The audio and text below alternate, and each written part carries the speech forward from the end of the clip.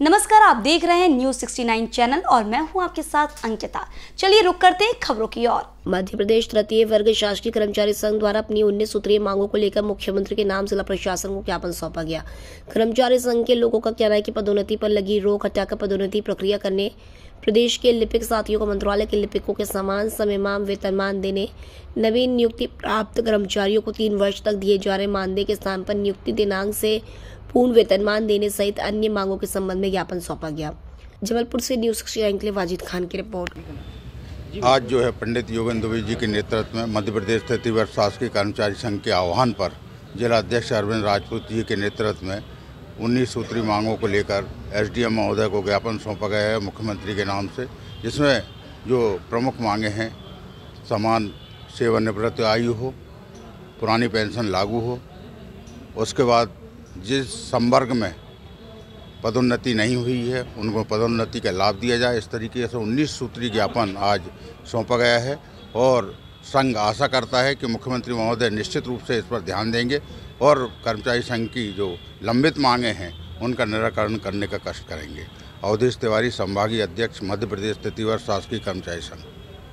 मध्य प्रदेश तृतीय शासकीय कर्मचारी संघ के प्रांतीय आह्वान पर माननीय मुख्यमंत्री महोदय के नाम से मध्य प्रदेश के समस्त जिलों से कर्मचारी संघ के जिलाध्यक्ष और उनके पदाधिकारियों द्वारा माननीय कलेक्टर महोदय के माध्यम से मुख्यमंत्री को ज्ञापन सौंपा है।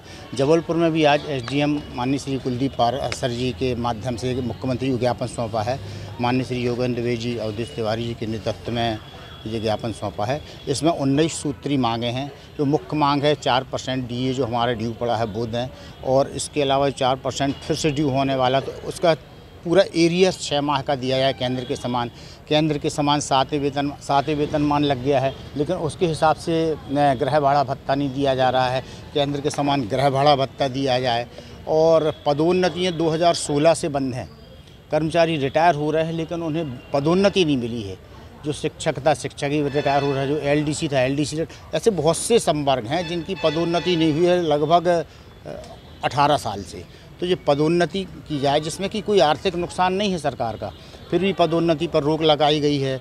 पुरानी पेंशन, हमारी मुख्य मांग बहुत दिनों से चल रही है तो पुरानी पेंशन दी जाए, न्यू पेंशन स्कीम नहीं चाहिए कर्मचारियों को। ऐसी उन्नीस सूत्री मांगों को लेकर ज्ञापन सौंपा है। सेवानिवृत्ति, आयु, समान, बहुत से संवर्ग ऐसे हैं स्वास्थ्य विभाग में, जैसे स्टाफ, नर्स, डॉक्टर्स, इनको सेवानिवृत्ति आयु पैंसठ वर्ष।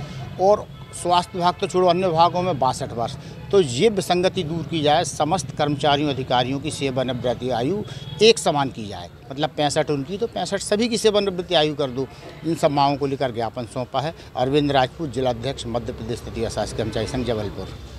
इसी तरह की और खबरें देखने के लिए बने रहे हमारे साथ। देखते रहिए न्यूज़ 69 चैनल जब तक के लिए धन्यवाद।